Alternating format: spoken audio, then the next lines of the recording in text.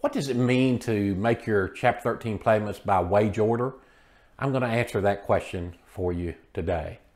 Hi, I'm bankruptcy attorney Dan Scott, and I just signed a Chapter 13 plan today, and we were going over the plan, and it said uh, uh, 60 months uh, by wage order. And the question was, what does that mean? Is a wage order a garnishment?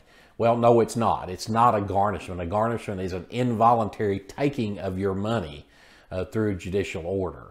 A wage order is simply an order from the bankruptcy court that directs your employer to pay the Chapter 13 trustee uh, a payment every time you get paid based on your bankruptcy plan once it's confirmed.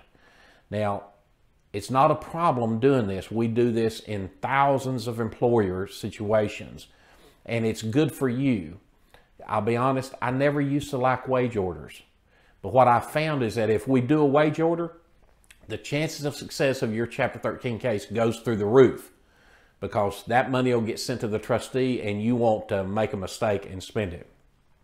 So a wage order is not a garnishment. It's a voluntary agreement between you uh, and the trustee uh, to pay the payments through an order on your employer.